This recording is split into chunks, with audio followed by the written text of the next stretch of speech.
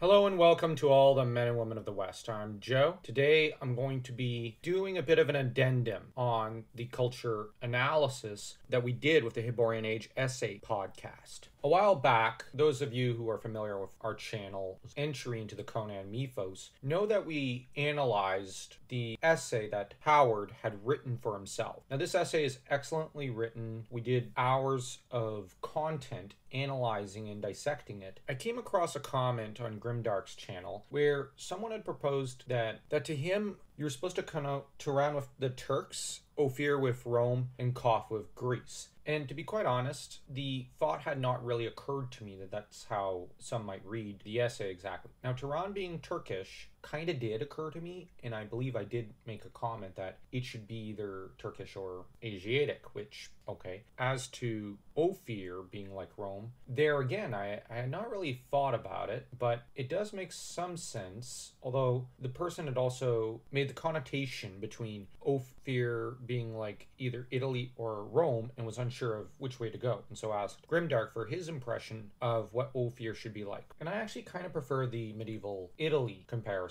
The Rome comparison, I think, would be more apt in regards to Aquilonia. Then again, medieval France is also something I'd, I'd make the connotation with Aquilonia. With Aquilonia basically having some of the legions of Rome, but the knights as mentioned in the stories, of a kind of Frankish Germanic society. So the, you have a melding of Rome and France in Aquilonia. With regards to Koth, I honestly kind of thought it was more of a African kingdom, but it could very well be that it's supposed to be Greece, and it would make some sense. So there, I'm going to be a little nervous to compare it to any society because I had thought it's more fantasy and it's a more hard to pin down society and that Howard had simply made his own. So if I had to make a comparison, it's either Greece or something like Ptolemaic Egypt, which was a mixture of Greek and Egyptian society. On the other hand, I do like the Greek comparison. So read into that what you may. Now, the Greeks ethnically, like the Italians, were markedly different from Northern Europeans 2,000 years ago. They were more olive skinned, you know, Latins. But as to Ophir, the person had asked,